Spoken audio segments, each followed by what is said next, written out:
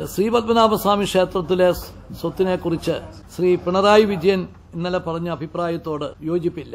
അദ്ദേഹവും പ്രതിപക്ഷ നേതാവും ഇതൊരു പൊതു സ്വത്ത് എന്ന നിലയിലാണ് പറഞ്ഞത്. അവിടുത്തെ സ്വത്ത് ശ്രീ പത്മനാഭസ്വാമി ക്ഷേത്രത്തിന്റെ സ്വത്താണ് അത് ഒരു പൊതു സ്വത്തായി ഒരിക്കലും കാണാനാവില്ല. അത് അവിടെ തന്നെ ആ ക്ഷേത്രത്തിന്റെ സ്വത്തായി സൂക്ഷിക്കണം. അത് സംബന്ധിച്ച് എന്തെങ്കിലും ഒരു തീരുമാനം പറയാൻ പിന്നെ സുപ്രീം കോടതിക്ക് മാത്രമാണ് അവകാശമുള്ളത് എന്ന് ആണ് ഗവൺമെന്റ് കരുതുന്നത്.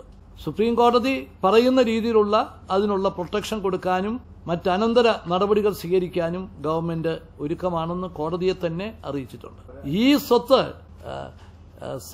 ഇങ്ങനെ അവിടെ കണ്ടെത്തിയത് തിരുവിതാംകൂർ രാജകുടുംബത്തിന്റെ വിശ്വസനീയതയാണ് ഉയർന്നിരിക്കുന്നത്. ജനാധിപത്യമൊക്കെ വരുന്നതിന് മുമ്പ് മാധ്യമങ്ങളുടെ തിളക്കമൊന്നും ഇല്ലാതിരുന്ന കാലത്ത് എന്തും സ്വാതന്ത്ര്യം വരെ ഉണ്ടായിരുന്ന കാലഘട്ടത്തിലും അതിലൊരു തരുമ്പ് പോലും നഷ്ടപ്പെടാതെ കാത്തു സൂക്ഷിച്ച രാജകുടുംബത്തിന് തള്ളിപ്പറയുന്ന ഒരു സമീപനം. അത് നമുക്കൊട്ടും ചേർന്നതല്ല എന്ന വിശ്വാസമാണ് എനിക്കുള്ളത്. ആ സ്വത്ത് ക്ഷേത്രത്തിന്റെ വിശ്വാസികളുടെ സുപ്രീം കോടതിയുടെ ഒക്കെ തീരുമാനപ്രകാരം അത് സംരക്ഷിക്കപ്പെടുകയും ചെയ്യണം. കോവളം കൊട്ടാരം സംബന്ധിച്ച് പന്ത്രണ്ടാം തീയതി സർവകക്ഷി യോഗം വിളിച്ചിരുന്നു.